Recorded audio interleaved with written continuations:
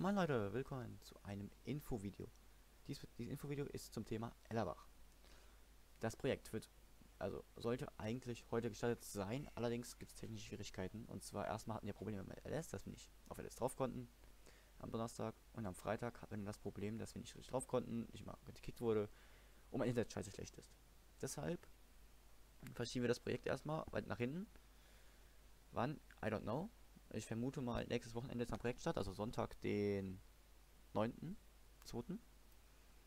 Und ja, das ist das Einzige, was ich euch sagen wollte. Es werden jetzt in, in nächster Zeit erstmal vermutlich ein paar Modding-Videos nochmal kommen, ein bisschen ETS auch kommen. Aber ich bin halt im Moment nicht so wirklich in Laune aufzunehmen. So, Singleplayer habe ich gemerkt, NF Marsch kommt nicht so gut an, außer ihr wollt NF Marsch sehen. Sagt Bescheid, wird aufgenommen.